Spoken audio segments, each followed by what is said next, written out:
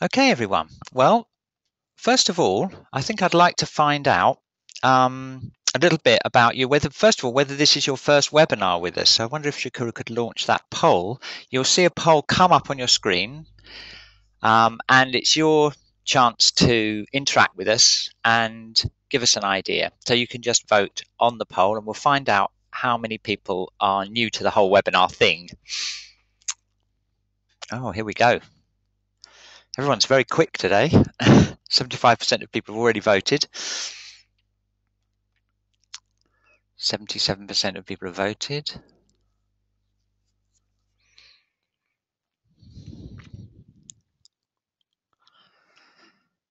Okay, well, 65% of you have not have not experienced a webinar before. So I think I ought to I ought to just go over the webinar system for your benefit and to remind those that have been on a webinar with us before. Okay, so the title is Treating Trauma with Shiatsu and TCM. And what will happen is um, I'm going to be presenting the webinar. Paul Lundberg, who's one of my colleagues at the Shiatsu College at New Energy Work, he's going to be helping me out with the online course, which starts on Wednesday. And I'll talk a little bit more about that later on. Okay, this webinar lasts for an hour and we'll just um, go into the welcome screen. Okay, I'm going to go over how the webinar works, just briefly for those of you who, who it's a first experience, welcome. Um, I'll have a little, we'll have a little look at the online course as well, just in case you are interested in joining that. It starts on Wednesday, goes for five weeks, and we'll obviously go into more detail on the themes of this webinar we've got i think is it seven places left now? We've got 12 places we've got seven places left so it's half full now and i expect it'll probably fill over the next couple of days. And then what we'll do is we'll give you an overview of treating trauma with shiatsu and tcm and hopefully that'll um, start you thinking about how you can how you can work with with stress and trauma using shiatsu Okay, so first of all, how you can participate. And this is a great thing about the webinar system. You can really take part in this, and you already have because we've already done a poll. So that's one of the main ways that we can um, find out what you're thinking. And we've already had one. We've got plenty more in the pipeline uh, for this webinar. Now you'll find that you've got a control panel and you can click the little orange arrow to hide and make it open your um, control panel. You're no doubt listening to me on either your computer uh, speakers or on a headset. And you'll find there's a little box which says questions. Now, if you've got any questions, you can type any questions in and then Shakura will keep an eye on them and she'll feed them to me and we'll see if we can deal with the questions as we go along. Um, now, there's also another way that you can do that. Uh, you can also put your hand up and you'll see there's a little hand icon. Um, if you click on that, that means we'll see your hand go up here in the uh, studio. And that means if you've got a good audio system, like if you've got a, uh, particularly if you've got a headset, like a Skype headset, um, then you can actually go on air live and we can actually hear your question, not only typed. So if you want to ask an actual question with audio, you can do that. And that's really a lot of fun if you'd like to do that. You need to have a pretty good connection. You need to have a really have a microphone and headset for it to work well. Okay, so bear that in mind. Okay, so we've still got lots of people arriving, um, but I'll just go on and just have a just a brief overview of what the online course is like. First thing that we need to emphasize about the online course is it's asynchronous. So what does that mean? Well, that means you can do it anytime you like, which is pretty important for our online courses because we have people from all over the world, um, literally from Australia, South America, you know, Africa. We've had people from all over the world on the courses, and with all the time zone differences, the only way we can really work them is in a synchronous way. So you don't have to worry at all about uh, when you do the work, when you do the activities because you can just fit it in wherever you like in the week. They're five weeks long. So what we do is we set some objectives for each week. We use, um, you know, a good course design system. So we have clear objectives. We then have a range of resources, and we use a lot of video and audio. We like to get you away from the computer as much as we can. We get you working on your clients. um, and accessing audio which you can download onto an iPod, take away from the computer, or watch the videos. And then we give you assignments. So you have a little task to do each week, which usually works means working with your clients on a particular thing. Um, and then what happens then is you post your experience onto a forum, and that's where it really takes off the course because that's when you get tutor and peer feedback. The forums are very, very active, and we get this great vibe going across the world of uh, shiatsu therapists working together and supporting each other. So that's how the online courses work. And here's a little peek at what it looks like if you haven't been to newenergywork.com. It's actually not really a website as such, it's a virtual learning environment. That's why it looks a little bit different from a normal website. Um, it's actually like an online classroom. It's a piece of software that's designed to do that. And this is the home page. What happens when you click into the course is you see this. And this is what a course looks like. And you'll see that it's really just a bunch of uh, links, really. You'll see that's week one, which we're putting together now. We're just finalizing the course of design of week one. Uh, you'll see there's an overview. There's a couple of videos, some fantastic videos that we've got there about um, leading experts on treating trauma. And then we've got notes for you, audio, and then we've got an assignment which is based around a discussion. That's a typical structure of a, of, of a week on one of the online courses. Okay, and here's an example one of the resources. This is uh, an embedded video that we've got. Very, very interesting video, and it's actually that the um, lesson is open. If you after the webinar, if you want to have a look at it, it's actually open to guests at the moment, and we keep the course uh, open to guests until we fill it, so you can have a look around, see what you're going to be doing. Okay, so here we are. I think we could do with another poll. What have we got? What have we got? Let's see. Let's find out. Should we find out a little bit about everyone?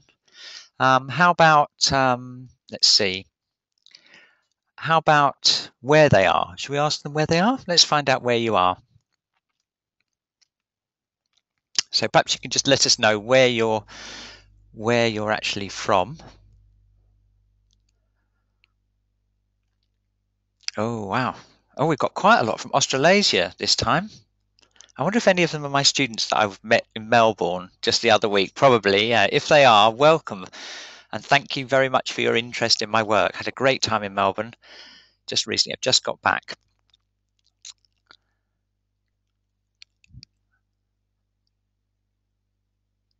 Okay, 87% voted. Should we close it?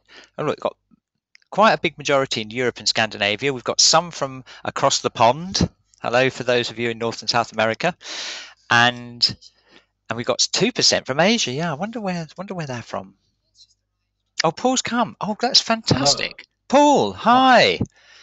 Yeah, just um, arrived. It's taken me about five minutes to download the um, the link the and everything. Yeah, yeah. Everything. Oh, it's. I don't know why, but here I am.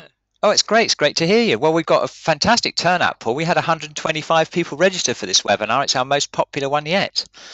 So wow, that's really interesting. It's great, and we've just we've just found out where they're all from. We've got 88% from Europe and Scandinavia, 3% from North and South America, 2% from Asia, and 7% from Australasia. So we've got a pretty yeah. good global spread. Yeah. I'm looking. I'm looking at that now. Oh, you can yeah. see the poll, can you? Fantastic. Yeah. okay. Great. Cool. Um, should we find um, out one other thing? Should we find out what um, what everyone's up to, whether they're students or practitioners? I think we've got a poll for that, haven't we, Shigura? Yeah. Here we go. Let's find out who you are.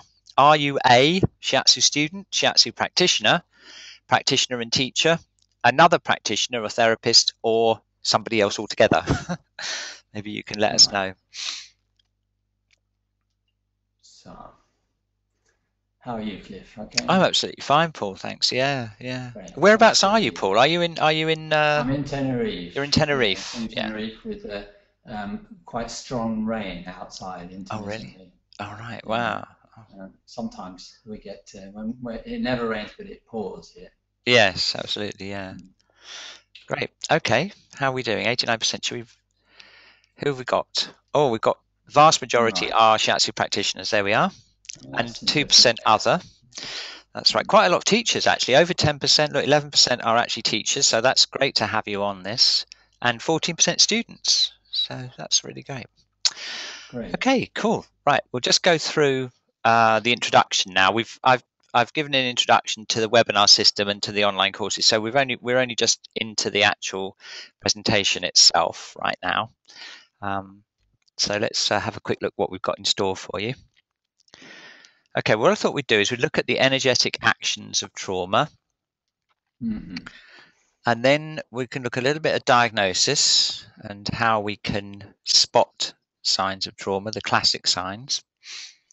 Um, look at some of the theory, the, some of the TCM and Shiatsu theory that links with some of the classic stages of, of trauma, the trauma response. And then talk a little bit about treatment from a Shiatsu perspective. And then a little bit about putting the whole thing the whole thing together. Um, and this is more or less the same structure that we've got on the online course as well. We're going to take uh, a week for each of these sort of topics. To go through these various stages, yeah. Yeah. So let's have a look at the energetic actions uh, that of um, of trauma, and these this work I've taken from is influenced quite heavily by the work of Peter Levine, who wrote uh, the famous book Waking the Tiger, which is a classic book and mm-hmm. highly recommended if you haven't already read it or if you haven't already got it on your bookshelf. Um, and what Peter Levine um, does in his book is he's he's actually an animal physiologist first and foremost, and he's extended that into a study of how human beings deal with trauma and stress. Mm. And he's identified different stages. So if you imagine that you've got um, the first stage, which is when you're threatened by a predator, let's say you're an antelope or something, you're threatened by a predator, uh, the first thing you've got is the adrenal response. And certainly if you're an antelope, you're probably going to start running. So that's the first thing um, that happens. Now, what will happen then after that is if the antelope's being pursued by the predator, and it looks like they're going to be eaten. It looks like they're going to actually be uh, attacked and eaten by the lion or whatever it is that's chasing them. Then the next response is the so-called freeze response, and this is when the animal will play dead and the whole body will freeze. And the reason for that in the natural world is because the predator will then often be distracted by other animals running away or running around. And because they're programmed to run after things, they'll often go after the things that are running. So the freeze response is a very good defense, uh, last ditch defense. Not quite last ditch then, because yeah. there's another one, which is if the animal, if the predator decides that the freeze response hasn't, they're not fooled by it, and they actually do start eating the antelope, then what happens, or what happens then, is dissociation, which is again a natural thing to take you away from any of the distress and the pain of actually being eaten and attacked. Um, exactly. So you've got those natural physiological responses. Now the interesting thing is is that animals, um, when they go through those phases, if they get if they still survive, like if the lion then gets uh, distracted and goes off, um, what happens is the animal gets up and they actually involuntarily shake and they keep shaking involuntarily, really violently, actually shaking and shaking mm. until mm. all the energy that's pent up from the trauma response has been discharged and then they trot off quite happily. um, amazingly, it, it, amazingly, yeah, fast as well, doesn't it? I mean, um, is yes. one thing that you you sometimes see in wildlife uh, programs which sometimes go into this kind of rather distressing sort of detail of attacks and survivals and things. I've seen it yes. um, on documentaries. And um, one of the things that's very striking is the um, apparently sort of rapid um, um, recovery by this process. It's yes. interesting um, that uh, at least in the wild, this uh, if, if the worst doesn't happen, then the return to normal is um, it, it, can be remarkably efficient, which I think it might interest us. Yes. Um, as we discuss the differences between, um, you know, this sort of uh, this raw nature kind of situation, which is a good place to start, I think. Absolutely, and, yes. Um, and what happens to us more civilized folk. Yes, exactly. Yeah, because the problem with human beings is because of various pressures that we put on ourselves, either socially um, or through our own conditioning not to show or not to express those involuntary movements. Um, mm. What usually happens is that one or more of those um, energetic actions get stuck in the whole body mind hmm. system, and that mm. then creates problems which come out as symptoms. Um, and we'll go on in a little bit and see what like, what kind of symptoms um, uh, what kind of symptoms they uh, commonly yeah, occur. Yes, that's right. Yeah. Mm-hmm. But what I thought we could do first of all is we could do an exercise. Okay. And what we're going to do is we're going to um, I'm going to I'm going to talk you through. I've done this several times. This exercise, um, and mm. it's uh, a way of uh, just experiencing the somatics of a stressful time in our own energy field, um, and then we can go on and we can look at the actual theory and see what happens. Okay. Now, just a word of warning here. I mean, the whole thing about trauma as we'll find out a little bit later, is that one of the big developments that's happened recently in therapy is the whole idea of going back into the trauma and really re experiencing it and everything has really um, gone out of favor in therapy because what's happened is they've discovered that actually going back into the trauma is actually re-traumatizing and you kind of get into this loop um, where experiencing it is re-traumatizing in itself mm. and that's why mm. um, more somatic um, forms of therapy are becoming more popular and shiatsu is mm. one of mm. them mm. and actually I on think, the um, yeah go on Paul. yeah no no I, I, think you're right I think um, it, it isn't necessarily that it's traumatic I think no. that the, the, uh, the this uh, sort of current wisdom about this is developed because because of the the care and skill which is needed in yes. the therapeutic situation to resolve uh, skillfully and effectively the shock state because um, of well because of the danger of reactivation. Yes. Because of some qualities that shock has, which I want um, I wanted to bring up at some points. I may as well now is is the fact that it's contagion um, amongst amongst um, anybody who's near enough to to pick it up, which can include the therapist. Right. So, yes. Um, so shock is contagious, uh-huh. Um, as we as we humans uh, generally experience it and deal with it. Um, and for this reason, I think that uh, more careful and sort of skillful strategies have been evolved in recent years. Yes. So um, something to remember though that that um, it it uh, going back to the trauma isn't necessarily going to just uh, re-traumatize you exactly no. the same. No, exactly. Um, but, no, that's but, right. But if it's misunderstood or mismanaged, then that's exactly what can happen. Yeah. I've got a couple of fantastic videos, by the way, Paul, that I've put onto the course, the week one of the course, uh, which is which are actually a whole panel of experts talking about their early mistakes um, and what they've learned, and it's fascinating. You have to check them out. Yeah, check them out when the course gets going.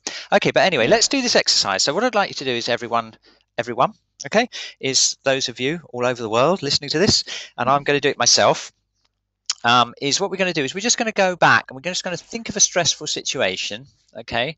And we're going to scan our body and we're just going to see what kind of response um, that we have, okay? So, and I'll lead you into it and out of it, okay? So, first of all, let's just sit comfortably and just relax. And what we're going to do is we're going to tune into our own energy through our body.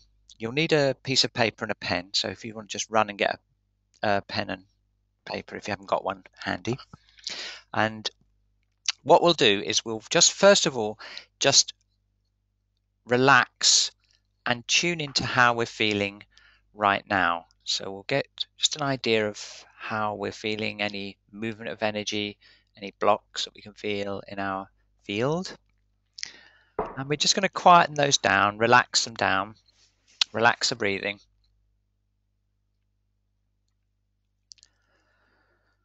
Okay, so now what I'd like you to do is I'd like you to just think of a, um, um, a time where you were under stress or you had a stressful situation. And we're just going to go back to that time in a kind of relaxed way. We're just going to go back and just feel the atmosphere just enough to instigate a feeling of somatic movement in our energy. And this will just give us an experience of what that's like. Okay, and I'm doing it with you. So let's just take a moment just to go back to a stressful time.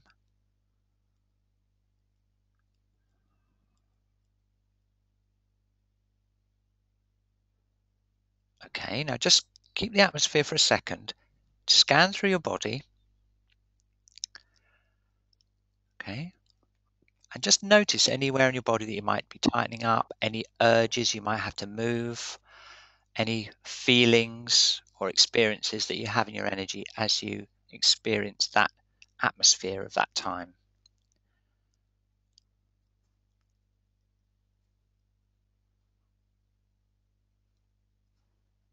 Okay. Okay, so now if you turn that feeling into an image that you can draw down or write down, okay, and then I'm going to do it myself here. What we're going to do is we're just going to sketch the, very quickly sketch or write down the main feelings that we had. Okay, we'll just stay with that for a second and then we'll just shake it out. Okay, so just just draw a quick sketch.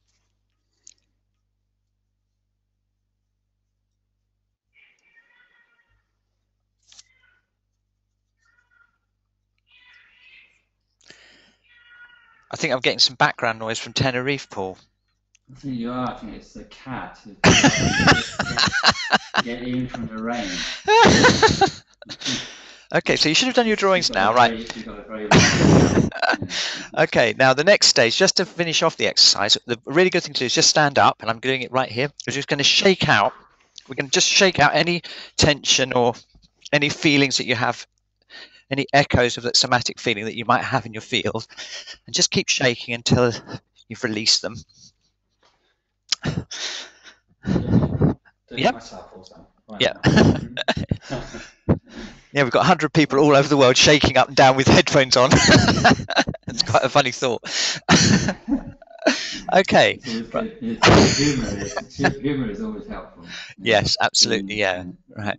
Okay. So I thought we'd do that first. We do the practice first because, in actual fact, there's um several uh, different responses that we can identify, which comes into the diagnosis phase.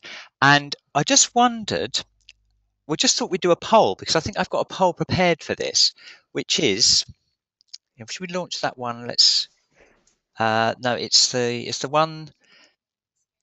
Uh, yeah, when you experience the atmosphere around your stressful time, did you predominantly feel? Just try that one.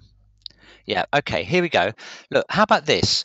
Just think about the feeling that you had, right, when you did that exercise. Did you feel that you wanted to run away, to run? Did you feel like you were frozen or immobile? Or did you feel you were detached or distant, or did you feel angry or aggressive? And there's also another one, just in case there's anything else, any other other one.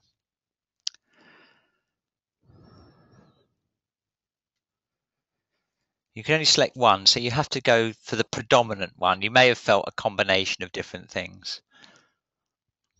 Hmm. Wow, this is really interesting.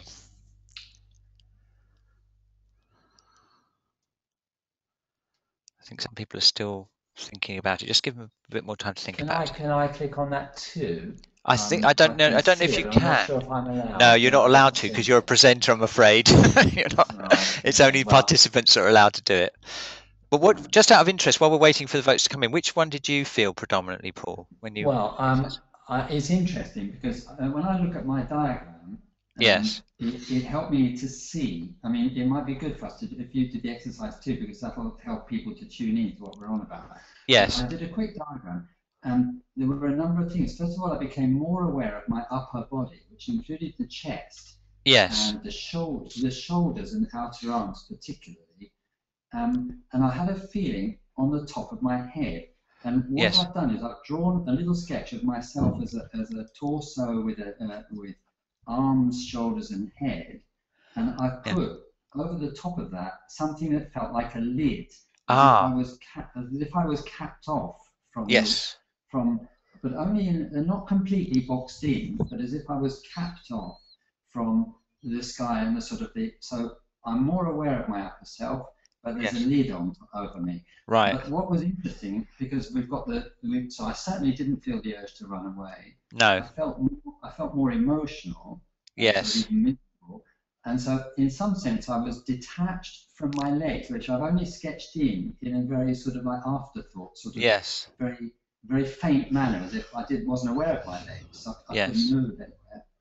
And so I was certainly detached in some ways, and also frozen in other ways. Yes. And my my feeling was um, not angry or aggressive in this case. I think it's because I didn't get in touch. So you know, depends on the kind of trauma that we Yes. are Absolutely. connecting with, of course. Absolutely. I Yeah. every, everybody will find that. Yeah. Yeah. Well, look, let's have a look at the poll results. This is interesting. Let's Look, we've got 5% had the adrenal, were predominantly in the adrenal response, um, Which is to run away. or to run away, urge to run away, yeah. Um, or, and then, well, I suppose it could have, I could have also put, yeah, I put the aggressive one later on, didn't I? Because that's I think that, that, would you see fight or flight is basically Yes. that, that you've divided into two categories, and there's more people put angry or aggressive than Yes, that's right. put to run away. Yeah. But the predominant one is very interesting, isn't it? Frozen Yes. or immobile. It Very is. Interesting. Yep, that's your so-called hmm. freeze response, and then Yeah. got twenty percent detached, and then eleven percent. That's very, yeah, very interesting. Uh, yeah, always interesting to know what the others might have been. but- Yes. Well, well, you can always. guess we'll find yeah, you can always write in. Yes, anyone who's got an interesting other, you can always type them in. You know, type them in if you want to. Yeah. Okay, we better move on because we've actually half an hour in Mm. already. Okay. Mm, Here's here's some uh, stuff that I took from the course material. I just edited it down a little bit, and just to show you the common symptoms. Because what can happen is when you get clients in, you'll find, um, you know, you'll get uh, you'll you'll start to recognise uh, symptoms, and hypervigilance is a state that can happen where the clients can't um, relax. You know, they can't relax Right. it would be like a sort of probably something like a kidney yin deficient thing in TCM terms, um, or a Shen disturbance. When I go, we can go on to that later with theory, um, and they get you get this feeling of them being hyperactive or always being like uh, wired the whole time, and of course Yeah, that can I mean, lead. uh, This would be people who can't very easily um, close. They may not close their eyes, or That's you right. start to work with them, they're very. Uh, they would be just difficult to relax about giving up their limbs and things like that. I mean, this would be the the first Yes, signs of that. But there may Absolutely, be yeah. a lot more. There may be a lot of other things. That's yeah. right, yeah. And obviously, obviously, with when they're in that state for a long period of time, you're going to get um, fatigue, obviously, and then that can also de- develop into fears and phobias. So you can obviously you can see that there's a, definitely a kidney relation related thing here. Yeah, well, yeah, that Um, would be. Mm. Okay, and then the, then the freeze response, which is um, the most popular response in the group. what can happen with that is uh, that is that the actual freezing can be retained in the body, and what what you find um, is you find that whole or parts of the body actually become numb, or they actually do feel frozen. The connective tissue actually kind of uh, becomes almost brittle. This is my experience of it anyway when working it Mm. it just feels detached. The meridians feel blocked, and the connective tissue kind of gets. Uh, that's what can happen if it sets into the body, and this is one of the great things I believe with shiatsu. I think shiatsu is a fantastic modality for this. Okay, and then dissociation. That's what you're going to. What you'll notice that is you'll get a sort of vacant look. They may actually say they feel, and I've had that happen with several clients. They actually say, "Oh, I feel like I'm detached from everything. That I'm not really there," and things like that and they often find that they're unable to access uh, their emotions properly. So they, they almost like they're observing themselves all the time, and that obviously can Yeah. lead to difficulty in relationships, and uh, that's what can happen when the dissociation uh, gets fixed. It kind of gets uh, fixed into the body mind, and uh, that's obviously uh, oft related. We'll see it a little bit later related to the Shen and the the Hun.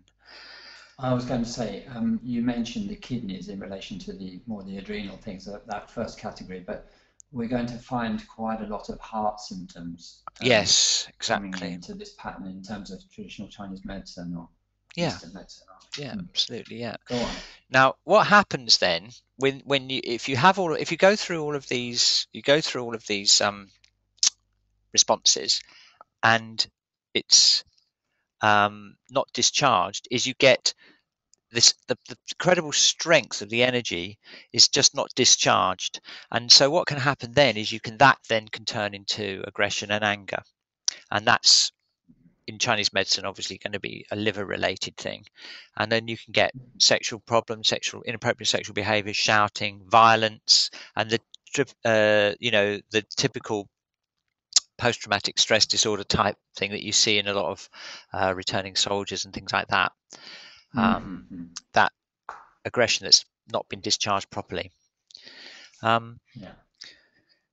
We've also got another couple of patterns. I've got a few questions, have we? Okay, well let's just get to the end of here and we'll just go we'll go through some of the questions. Um, the other thing I've noticed as well, Paul, I don't know if you've noticed this clinically, is that depending on the person and their um, the client and their predispositions, their constitution, and everything, that what can happen also is you can get this grief. The grief is undischarged as well, so that kind of gets stuck mm. stuck into the body, and you get this. Quite often, that leads to compulsive behaviour, hoarding, and an, un, an inability to let go and move on, move on in life. And I think that's just part of the whole, uh, again, undischarged cycle of the of the um, the trauma response. I, I mean, another way to describe that um, that I've um, seen, and uh, which I think is also part of the recognized sort of uh, theory as it's developed over the years, is um, I, I, this that it's um, a particular kind of not being able to move on in life because um, it's sometimes cyclical, so that people find themselves recurringly coming up against the same kind of situations, the same kind of obstacles, the same. So there's a sense very often of um, not being able to resolve things or not moving on is one thing, but there's also a sense of repetition that, yes. uh, that um, people may describe to us uh, in a clinical situation in, in their own personal terms, but it's something we can learn to look out for.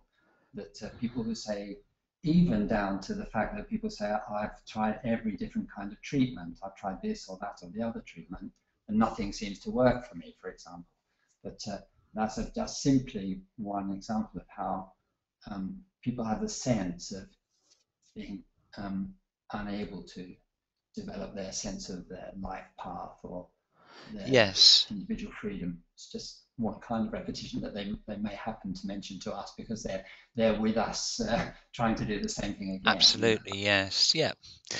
Okay, we've got some questions. Should we just have a few questions before we move on? Let's have a look. Um, oh, we've got um, Pascal, Pascal Moreau has asked, um, do you think that burnout syndrome leaves long-term traumas in the body and mind? If so, would you share your experience about that? Well, that's an interesting one in itself, and mm-hmm. and that that's an interesting thing because uh, what I've noticed, and I don't know if you agree with me, Paul, is that there's really two two ways that emotional trauma can happen. You can have a, a sudden event like an actual accident or you know a sudden traumatic thing, um, and that can be maybe repeated. But you can also have long term stress, more long term low level exactly. stress that exactly. can build up and can have a similar effect, can't it? Um, exactly. I mean, from that point of view, um, the more we come to know the person through the stories they tell us and the diagnostic process and so on, um, I, I, agree that you, you find that people are um, they're describing a situation that they're in as stressful or a situation that they that um, that they can't get out of. And, and I think that one of the other things is that it's it's often sort of multi-layered because we yes. all know that this or that or the other thing can be stressful. And there are classic lists, aren't there, Cliff, that uh, maybe people are familiar with, but um, the the lists in their various different forms have been developed again over the last 30 or 40 years of life stressors. Yes, um, that's right. Go from everything to sort of the things like uh, accidents and death in the family and and uh, you know loss of those kinds, um, right through to well divorce and, and all the things that we think of as terrible, but including things like moving, like sitting exams, like uh, um, and and all kinds of things which may or may not happen one at a time. I mean, a lot of people are in stressful circumstances due to their work, and they're not uh, necessarily re- uh, finding a, a, a, relaxed home life to discharge. They might have stress at home as well, and various other concerns. And if these go on for long enough, they begin to act like shock, um, don't they? That's the yes. That's really yep. what you're talking about. The cumulative effect of that's right. stressors yes. is that it turns into something which is almost indistinguishable. That's exactly it. Yeah, that's right. Yeah, yeah, yeah. yeah. Right. And burnout syndrome, as I understand it, really is just it's just in in a sense that's one of the side effects of the adrenal response over a long period of time. It's uh, in Chinese medicine terms, it would be like kidney yin and yang depletion, wouldn't it? It's just kind of like. Um, well, it would be on that uh, in that classical diagnostic way, but uh, I think the interesting thing is why do we drive ourselves um, at a certain pace? Yes. Is it because um, you know the kidneys are still causing us by habit and by the unconscious presence of some kind of um, um, what let, let me introduce that phrase which I, I don't know there's we, we, can have them almost as interchangeable I think but the, mm-hmm. one thing is shock and how it works and how it resolves because there's a clear path for recovery in shock yes. isn't there which yes. has also been defined in the literature etc um, and then there are these recognized um, possibilities that the recovery process gets itself gets stuck or frozen at different stages. Yes. And if shock is not completed right down to its last uh, phase of resolution, and we can yes. look at that too. I, I, know you've got all this. In, uh, I, there was a big similarity between the, the, the, kind of background material that I had prepared yes. Um, and what you prepared. I noticed that. I didn't think it was worth me duplicating that with, with some no, um, no. But, you know, as as we go on, we can introduce that in the course.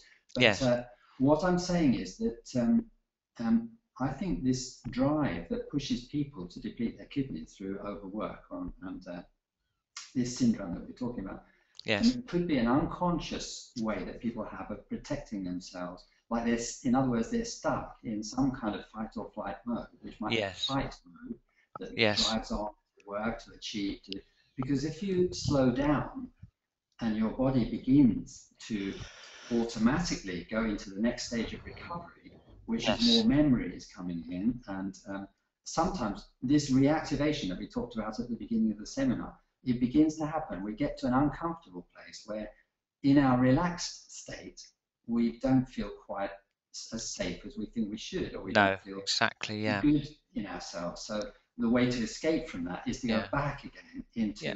a, a, a, driven mode. And yeah. there we have the, I think that describes it. Yes, exactly. Yeah. I don't know if that's a full answer to our yeah. question, but um, yeah, I think that's good enough for We, we definitely can go into more detail and do the course. Just a couple of things I want to come. Um, we've got a comment from Sandy. She says this exercise, re, the exercise we've just done, risks re-traumatizing, and she says my understanding of trauma therapy is it's essential to establish a place of safe safety somatically mm-hmm. in the mm-hmm. body before going near the potential trauma somatics. Yeah, and I did emphasize that when we did the exercise, and I certainly wouldn't suggest doing this exercise with your clients because we've got mm-hmm. a different way of uh, doing the similar thing which we can mm-hmm. which we can deal with and someone wants me to repeat uh, go on go on yeah, yeah, someone wants me to repeat the book that i've talked about in the beginning and that's peter levine's book um, mm-hmm. it's called waking the tiger and that's um, and that's a classic book really worth it's only a little paperback but it's really worth doing. Mm. Je- i'll just clear up some of these because we've had lots of lots of questions coming in. We've got oh, jessica yeah, yep, jessica's come jessica had stress responses have been sourced right back to pre and perinatal trauma. Will you be taking this into consideration? And that's definitely a really interesting area. We can look at that because we can do the we've got these techniques for temporal scanning where we can go back to pre-birth time and um, you know, uh, scan the field. It's a kind of advanced technique, but we can scan the field and see what's happening early on. So we can we can do that. And mm. we've got a special one for you, Paul. Pascal says, "Thank you for sharing, Paul." So there we are. You've got a fan out there already. okay, um, here we um, go. We better move on, Paul, because it's we've only got 20 minutes left. We've got lots more slides. Let's let's um, let's have a look. I'm happy we may not uh, may not have time to go through a lot of this in in a great deal of detail, but of course we've got five no. weeks on the course anyway. Yeah. Uh, the first I thing, guess, I mean, the fact is that not everybody who's with us today is going to. Um, no, no, exactly, and this is just like an overview. Yeah, of course, yeah. Yeah. Um, okay. Yeah. The first thing about questioning is the gentle approach, and this is really comes out of what we were talking about before. We really want to avoid at all costs re-traumatizing the person, and I found mm. that the clean language techniques that I've learned from Nick Pole are very good for that because mm. they're a very gentle and somatic-based approach to questioning, and I've mentioned them here. Right. Clean questioning. Right. Clean questions. Um, we've also got. To, mm, go on. Yeah, but I mean, we'll, we something we can't go into now, but they're basically kind no, of Zen approach to mm. questions. Mm. Um, and then there's the whole idea of scanning, sensing the ki, and feeling the atmosphere. And this is just uh, the the technique that I prefer to do, rather than digging, you know, trying to get uh, to run the risk of re-traumatizing by going somatically back into it. It's really a very gentle approach where you just get. It's almost like just the atmosphere, the hint of it, which will mm. allow you to access the field. And that, for me, allows you to then use scanning and HARA techniques to right. to get a clearer diagnosis. Yeah. Um, Have you got something else, or is that the bottom of the list? I don't know. Let's see. No, that's it. that's it. yeah, the next thing was. Yeah, I can. Look, there we go. no, because um, there was this there was this question that just went back about risking re-traumatizing and all this thing. Yes, and that's I right. I think there is there is time to just, for um, for example, I uh, just as it happens, I was talking to somebody um, through a Skype connection yesterday who's contacted me about a workshop, and um, he told me that he remembers um, the shock and trauma, uh, or it was a kind of workshop on latent shock that I offered in Kiental. Um, oh yes, yes. About four years ago, um, which ironically I presented on emerging from 24 hours in hospital, a, a, a, big lesson for me. But um, we used something very similar to what you've just done in miniature, which was to use um, a kind of pens and crayons and, and sort of um, diagrams and pictures to yeah. let people go back in their lives to certain events. And I just gave people free rein and whatnot.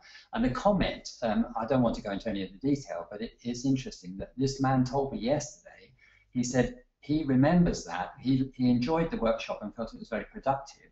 Yeah. It, apparently, it developed, uh, it, it, it, um, it produced a reaction in quite a high number of people that wasn't recognized until the next day when people sort of talked about why they hadn't attended one or two of the workshops on the following day because they felt too moved or, or upset even or, or sick even i don't know what but um, yeah. there's another example of how in a short time um, even a workshop situation and i've done you know i've experienced workshops where this is the theme um, yes. one one needs to approach all this with great care. Absolutely and yeah. in my in my um, article, which I think you have you put on as a resource for the. I will. I will do that. Yeah, we'll put that on. For, yes. For course, right? Definitely. Well, yeah. One of the things that I mentioned in there, which I think is relevant to this particular moment, is this thing you put sensing the ki and feeling the atmosphere and the gentle approach, the first and the last thing on the list. Yes. One thing that I feel is that um, we as therapists we need to be very careful about um, doing uh, doing anything to, as it were, to look for shock I think yes. we can sense that there may be shock. Yes. But I think we should be really careful as therapists um, n- not to feel that um, we need to, once that's recognized, to, to push anything, especially in any no. given direction. Only no. to recognize in ourselves is probably the, the, the most safe and secure thing that the therapist can do. Ah, there's shock present here. I feel this, I recognize it. But you don't. I don't think it's necessary to even start um, presenting to the person straight away that you've recognised that condition in them. No, that's right. That could be precisely the thing that pushes people away or into a panic. So I think we Absolutely. need to be very cool. You know. Yes. And I, I like it that you know this thing about feeling the atmosphere and taking a very gentle approach is is critical for me that we, we don't go looking to resolve people's shock for them because they're the only ones who can resolve it anyway. Yeah. But um, if I could just permit me one more observation. Yes, yeah. So in a course, in a, in a, a, little seminar or webinar that we're doing like this, um, I think a message um, that I'd like to send um, is that uh, the best thing that we can do in order to help our clients through, which may be a quite a, high, a, a startlingly high percentage of people who come to see us. Um, there have been various figures about that, but uh, the best thing that we can all do is look at our own situation and our own background and see with a little gentleness towards ourselves and a little sensitivity, exactly, we can discover to what extent we are carrying unresolved or, or latent shock. And little by little, the, if we can deal with that ourselves, we will become much safer practitioners. Um, yeah. Just holding the ground, just staying in hara and not getting involved in, in these quite contagious shock patterns. Yes, absolutely. Will yeah. present to us, you know, in yep. all sorts of ways. That's the whole theme of self-development, isn't it? The whole theme of self-development is even more important when you start working. You know, yeah. Yeah. We've got some more. Got some more. We can, if we think we can help other people without we including ourselves, and this is a very pertinent example, I think, of that. Yes. Yeah. Okay, over, okay. We've got we've got some more questions which I'll deal with in a minute because they're all they're streaming. We've got a very very active group today. Um, we've also only got 15 minutes left, and we've got quite a few more slides. So I just want to mention that um, we have got a temporal scanning technique, which is another very very gentle way of just uh, accessing the information in the energetic field, which we'd like to share with you on the course. And what it's like, if you've ever done any scanning work before, like whole body scanning or anything like that, which is basically tuning into the energetic field, um, one of the more advanced techniques allows us to kind of take a temporal approach to that. And that can be, I've found that very effective. Um, it's it's like a body scan, but we can scan scan back in time, and we can also start to access Kyojitsu in the um, uh, Kyojitsu information about events that have happened in the past. And I've I found that particularly useful as part of the whole diagnosis thing. So it's something we can deal with more. That in, in fact, the HARA um, has a sort of a, a, live field sensor and kind of would change in response to um, different, uh, e even subliminal or unconscious exactly, uh, yeah. events that are beginning to register in the field. That's so exactly it. Yeah. Will show it. Um, yeah. yeah. Exactly. show it in the present, even though there's a feeling around um, something that might have happened in the past that may at, at that time not be fully recognized by the Yeah, exactly. It may not even be recognized by us in any detail. No, that's right. And that's yeah. the, I think that's for me that's the most brilliant thing about shiatsu because it, the thing that I find and I've dealt with I have treated quite a number of very seriously traumatized people with shiatsu and they've benefited mm. from it. And I think one of the mm. main reasons is precisely because it's not a requirement to bring into the cognitive awareness the process. It's actually a somatic based technique, an exactly. energy based technique. Exactly. And you it's avoid. Like, um, analytical in the sense of. No, that's right. And that's one of its big strengths, mm. I think. And, and it, mm. you know, it really mm. does minimize any any chance of um, re traumatizing. Okay, we've got. Yeah. Um, Oh, we've got Sarah. Sarah has asked us. This is slightly off topic, but um, it's a bit more extreme. She says that in war-torn areas, experiencing trauma and shock whilst under attack, how to treat. That reminds me a bit of Diego's seminar that he did about working at 9/11, didn't we? In fact, the seminars. Mm. That's right. Mm. Yeah. Mm. If you want to check out that that webinar, it's on YouTube. Actually, it's on Shiatsu's. If you go to shiatsuspace.net, that's available, isn't it? Yeah. So you might mm. want to mm. have a look at that. He's had a lot of experience of working like that, uh, Sarah. But the principles are the same. They're just more extreme, obviously. Um, I think. Um, I, I, mean, I think when you're dealing with people um, in, in in the immediate vicinity of shocking and yes. traumatizing context, I mean um, at least at that point, I mean, who knows how effective we can be, but I think human, uh, you know, the whole thing of just having uh, any bodywork therapy available, yeah. giving us the opportunity to give sort of what we, we might hope would be unconditional attention with yes. hands and with, with our senses uh, during a period of time, if we can, if we feel that the treatment space is secure, at least. Absolutely, yeah. Then um, you know, and that may not be guaranteed, of course, but uh, um, I think that trauma is everywhere, and um, but at least if you're if you're in it, then there's no disguising it. So the best we can offer to somebody is our is our attention and our skill. What more can we do?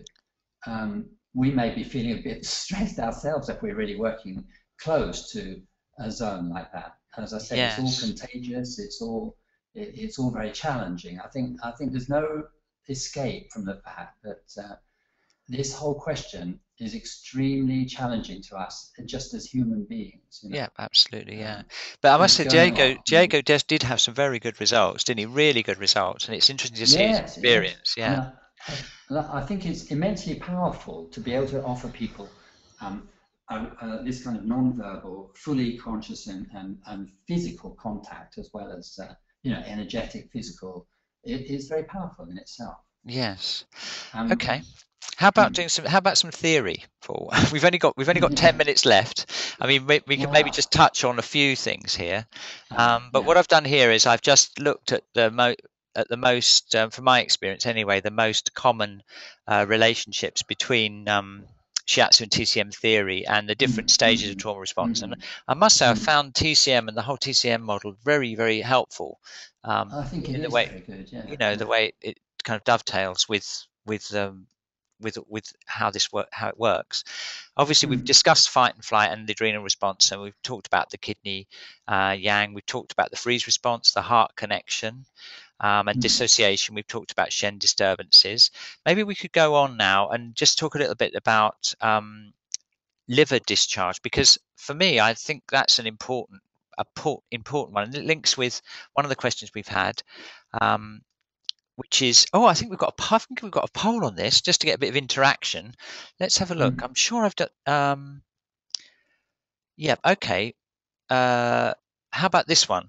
This one. Um, yeah. Okay. How about uh, you reflect? How about everyone reflecting on their uh, practice and just seeing how many of the or uh, any of these that you've experienced? Okay. You have to only select one, I'm afraid but just uh, perhaps pick the one that you've experienced the most. And then we can just get a bit of interaction on here. Yeah.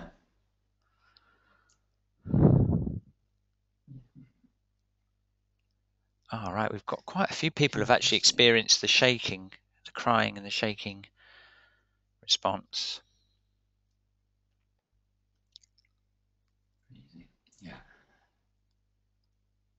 Have you got the you know, the results on?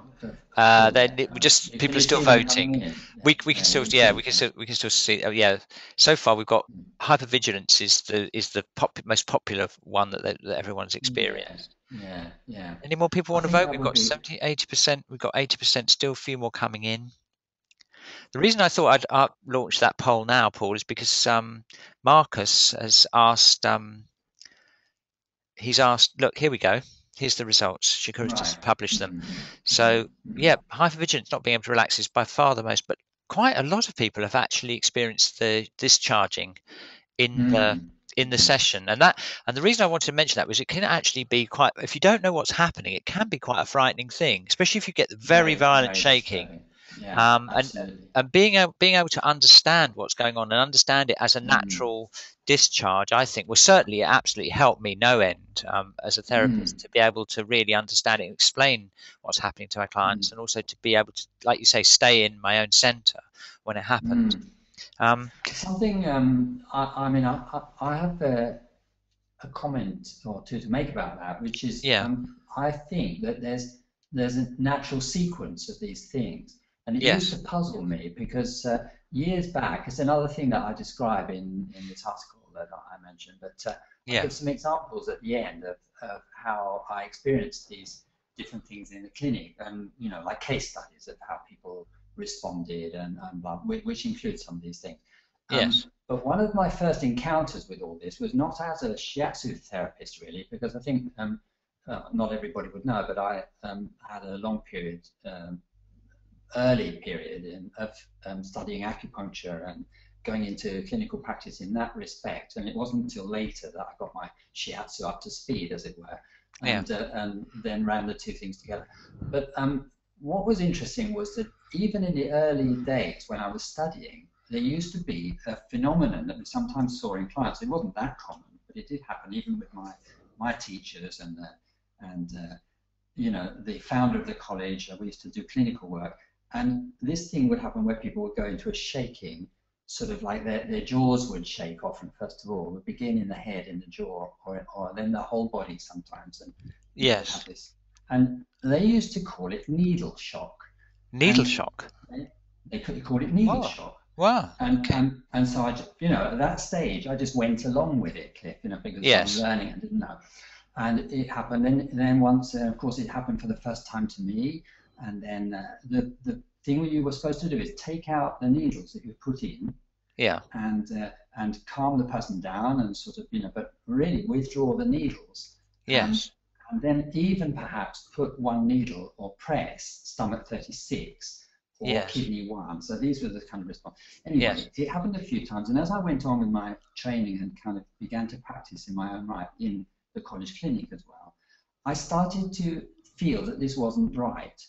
I began to feel that there that it wasn't needle shock. In other words, that it wasn't the practitioner uh, or the or the experience of the acupuncture in itself no. that was responsible for this shaking, but it wasn't given to us like that at the time, which of course is 35, 40 years ago now. You know what I mean? Was, uh, um, and I began to feeling rather sort of un, uh, nervous, but in myself, because it is a nervy thing. It's contagious, yes, as I say. But I absolutely. began to feel that I shouldn't take the needles out, and that I should just leave them in, as if because uh, because the idea of withdrawing the needles is to say, oh, we've done something to you that's um, you know that's caused this. Yes, so absolutely. The, the practitioner takes yes. the responsibility. But what I noticed is that there were plenty of people who had experience of needling. In other words, people didn't go into this needle shock the very first time they came, or the second time even. No. And sometimes people had actually been receiving acupuncture quite comfortably for some time, and then it would happen. So I think that what we just to translate that straight into the shiatsu experience, yes. the first thing we're going to find is that people are, are hyper alert and defensive about yes. you know people who've got shock states unconsciously there to Absolutely. protect.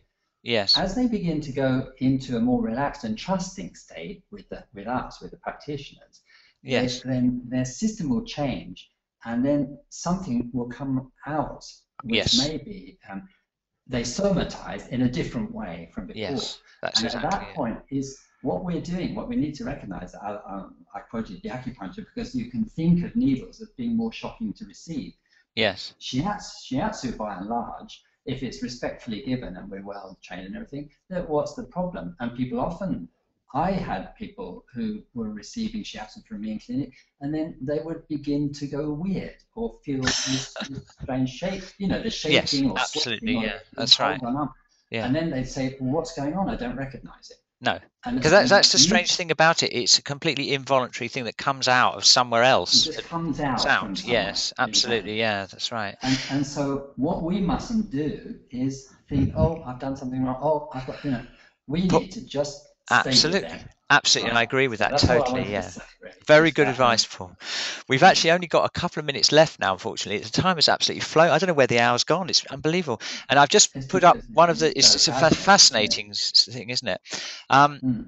Yeah. So I've got another slide up, which is the treatment slide, and you can see some of the some of the things we're going to go into in the course, and you can probably guess some of them already from what we've been saying. But also, it's interesting to look at some of the actions of the acupuncture points as well, which we will do in more detail on the course. Yeah, So, they're all they're all good, aren't they? I think I think Yeah. basically those things are there for people to look at. Everybody here is, um, you know, probably studied. Most people have studied the um, the traditional Chinese medicine or shiatsu theory. So the whole thing about you know the traditional points, the heart sevens, the stomach thirty sixes, the liver Yes. threes, and the kidney ones.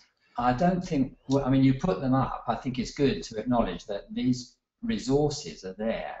yes. Um, so we simply need to adapt our shiatsu to what's coming up at the time. Absolutely, And quietly, just quietly get on with it because you know, yeah. people are going to go through it themselves. And we have right. things that we can offer. That's it. That's it, isn't it? Yeah, absolutely. You've And got, look- you've got. Yeah, here we are. What Here we are. Here's putting putting it together. This is the final slide. Well, not almost the final slide. We've got one just one minute to run. Um, yeah, this is a kind of workflow that we'll get towards the end of the course, which is detecting the trauma symptoms, which we've gone into quite a lot of detail in the webinar. Asking the clean questions gently into the somatics, keeping uh, you know safe space, allow, um, Mhm. minimizing any re-traumatizing effect, um, and then we can use timeline temporal scanning, more advanced scanning techniques, uh, getting into the hara diagnosis, we can understand the dominant trauma response, which is which is what we've just been discussing, and Paul's been you exactly. know really helping mm. how we can you know really help that, and then of course using points and kyojitsu and points. Okay, I've got to finish exactly. now. I've got to finish up. Um, it's half past eight. Thank you so much, Paul, for um, joining us all the way from Tenerife. Yeah, and thanks, thanks very much. the homework, Cliff, because you know, I, do, I do really respect that something set up in such a well organised way that makes it all possible. Thank you very much. Yeah, thank you, and thank you more, um, most of all, to all of those um, people who registered. We had 120 people, 25 people register, which is a record for us, I think, and we had most of those turn up. Oh, we've only got uh, Shakura's been taking bookings as the webinars progress, and we've now only got four places left on the online course. We only have a maximum of twelve students because we found that's the optimum number to um, yeah. for everyone to get uh, really good um, support from the peers and from the from the tutors. So mm. if you are interested in joining us, if you want one of those, if you'd like to join us on one of those four remaining places, then just uh, email Shakura at admin at newenergywork.com. Uh, dot com. it starts at nine o'clock this Wednesday. And I just want to say thank you very much for attending this webinar, especially for, for yes. the majority of you who it's your first event. I really hope you've you know enjoyed it. It's been really great um, being with you, and it's yes, just a great feeling. Much. Thanks for your interest. It's it's a very interesting topic, and, and it's, it's good to have you on board. okay, thank you very much. I'm going to end the webinar. Thank you very much. Bye, Cliff. Yeah, bye, Paul. Thanks ever so much. Bye, everybody. Yeah, bye bye.